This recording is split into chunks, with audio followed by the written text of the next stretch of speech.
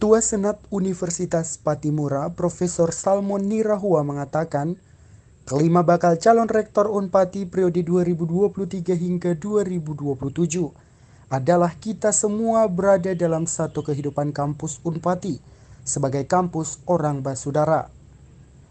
Dikatakan kelima bakal calon rektor ini dengan perbedaan pikiran-pikiran ke depan, tetapi mereka adalah tetap satu di dalam kampus, satu untuk kepentingan bersama, satu untuk kemaslahatan Unpati ke depan.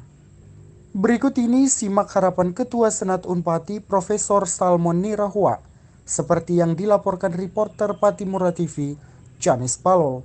Kita akan tetap dalam satu uh, kehidupan kampus Unpati sebagai kampus orang bersaudara. Sehingga uh, lima orang yang sekarang bakal calon rektor itu memang boleh saja dengan pikiran-pikiran ke depan, tetapi tetap mereka adalah satu, satu di dalam kampus, satu untuk kepentingan bersama, satu untuk kemaslahatan Unpati ke depan. Jadi tidak nantinya uh, lima orang lalu nanti lima tapi tetap mereka adalah satu. Dan karena itu tetap kita ada dalam satu kehidupan dalam kampus orang bersaudara. Eh, sehingga pada waktu kita menetapkan bakal calon rektor ya. itu sudah saya sampaikan di dalam pantun kita.